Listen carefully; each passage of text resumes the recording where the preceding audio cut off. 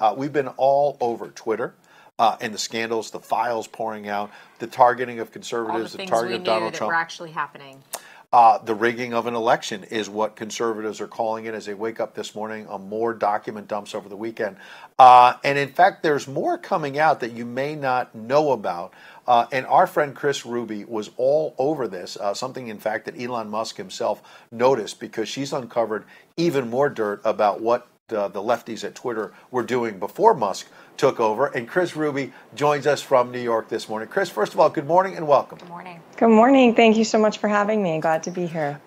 Great to have you. We want to get into all this. You know, Dr. Fauci now being targeted uh, by Elon Musk, saying he should be prosecuted. Uh, a lot of uh, the uh, you know, they claimed to be following the science during the pandemic, and they weren't, and they were using Twitter, Facebook, and other social media uh, for disinformation, basically, and they're being called out. But you uncovered something in the last few days, and I want to highlight it uh, about uh, how officials had clear access uh, to your private messages, the direct messages, and how artificial intelligence is being used uh, to censor people, to censor information. And Elon Musk noticed your reporting and said it's worth a read, as you saw right there. Breaking, you wrote, former Twitter employee shares exclusive details with me on artificial intelligence, access to direct messages, and more. She's got a full thread if you follow her at Sparkling Ruby. But why don't you break it down for us? Let's start with artificial intelligence. What did you learn about that? So what I learned is that the the picture here in terms of censorship or the war on free speech on Twitter is a lot more complicated than people think. So a lot of the reporting to date that's been done with the Twitter files has focused only at the trust and safety level.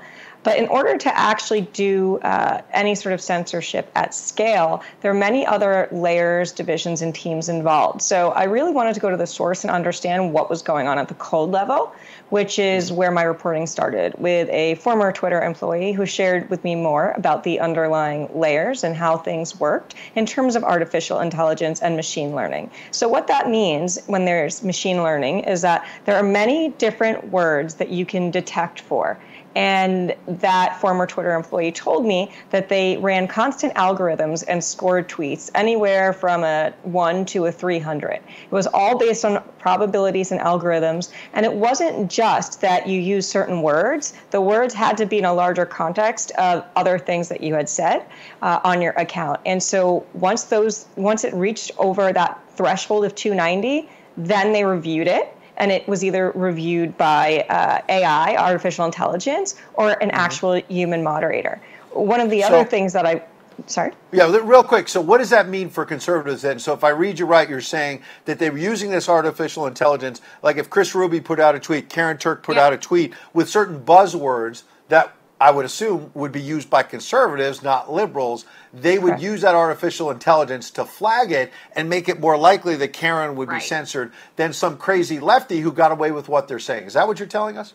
Correct, and there's also so I, I, actually have exclusive access to the data, which I have not re- not yet released, but I will say here in your show for the first time that I haven't shared anywhere yet. Uh, some of those words include election fraud, uh, mm. ballot stuffing, uh, GOP, uh, Biden, uh, anything, Trump 2024, right? So there's a lot of important phrases that are in there that the public wow. just has no idea. So anything that we that you may have thought or were called a conspiracy theorist about, in fact, based on the data I'm seeing, I mean, this is what was being flagged as quote political misinformation.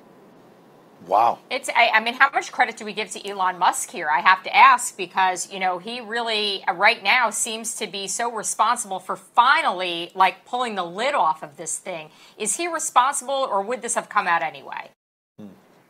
Well, I'll tell you this: the more he tweets, the angrier former employees seem to get, and the, and the more data I'm receiving. So I'm not sure he's certainly responsible for more data coming my way every time he really seems to make people mad. Um, I'm not sure that he even knows the depths of what was going on in terms of the data science level, uh, because it seems like a lot of this information was siloed. And so some of this information with data science wasn't necessarily being shared with other departments. Uh, I will say, what's fascinating when I asked, where, were, where did you take orders from to put these words uh, into the parameter list to detect? They said from trust and safety and from government organiz- organizations and agencies. That's highly wow. concerning. Wow. So that's really, you're talking about propaganda machine. I mean, they're taking their direction from the government? The government through censor? robots, by the way. There's another angle to this you're alluding to, and I want you to know we have a live chat on Gettr with almost 10,000 people in there already, and they're reacting to what you're saying in real time. And we've got these friends, Ralph and Chuck, who come on every Thursday, uh, who are real American voices, and they're saying we are judged by robots. That's something that infuriates yeah. people as well. It's not just that Twitter uh, as a left wing organization, was flagging these tweets um, and censoring conservatives, and oh, by the way, lying under oath on Capitol Hill about that censorship. But on top of that, Kris, what you're telling us really is they were using robots to judge conservatives, uh, which well, is also kind of chilling. In, it's very chilling. I would call it algorithmic bias. And so this is why I tweeted yesterday if you don't have political diversity in your data mm-hmm. science team and the engineers that code what you're putting in, what garbage in, garbage out, right? So if you say something is political misinformation,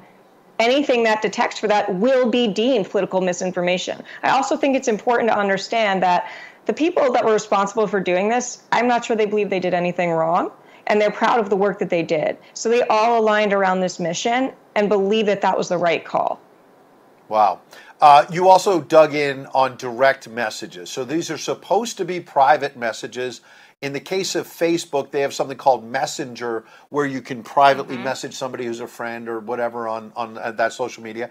And we've learned oh, in recent months about how Facebook shared those private messages, whether it's with law enforcement and others. We're putting on the screen some back and forth you had with this whistleblower about Twitter DMs, as they're called, direct messages.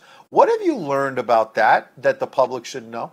The public needs to understand anything that's not encrypted, someone can see. And we know this when it comes to law enforcement requests, whether that's a search warrant or a subpoena, right? They're going to need access to that information if there is any sort of ongoing investigation or a preservation request. So a lot of that actually was in the terms of service. But I think the reason why this came up is because in Bari Weiss's reporting, you were able to see the back end of the screen where it literally said uh, direct messages. And then on the top of that, I believe it said training or testing which which alluded to artificial intelligence again, uh, because those those tweets they need access to specific tweets that are being flagged, so that those tweets can then be used to train their models for auto detect.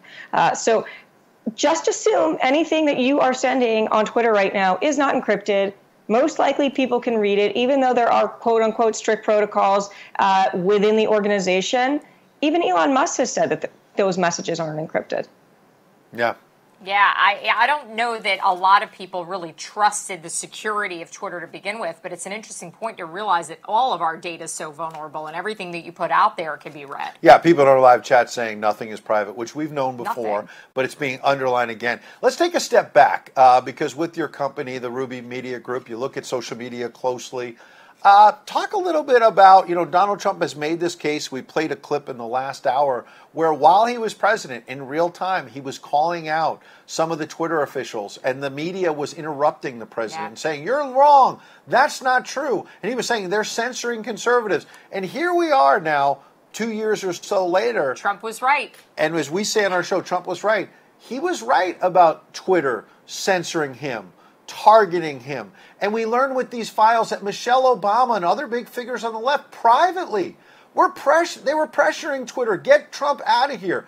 Uh, we've got a minute left. What, what's your summation of what you've learned and what you see spilling out in these Twitter files uh, about what they did to target Trump and conservatives?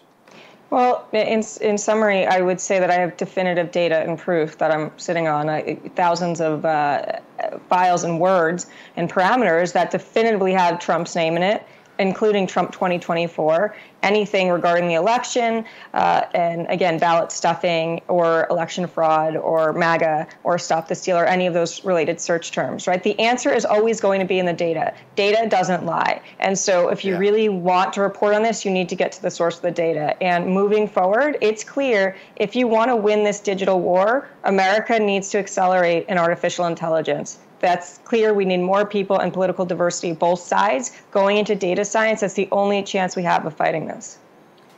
Oh, so we got to we have to get robots on our side to fight the robots that Robots they to have. fight the is what you're robots. saying. Uh, Robots it's to fight the robots. I don't know. I, it's all sounds so crazy, but that's the reality. Uh, and look, a lot of companies are into artificial intelligence because it means they're going to knock out workers, they're going to save money. right. And I got people in our live chat and Gettr saying AI is going to be part of the demise of America. So you can see people fired up about this. Kris Ruby, we appreciate you digging in. We appreciate you coming in and telling us some of that information for the first time. We hope to have you back soon. Thank Yeah. you. Thank you so much. All right, we appreciate that. Some great stuff. yeah, really interesting. Quick break. Uh, we're back with some Gettr and some Truth Social, uh, Real American Voices, and also a sunny side up.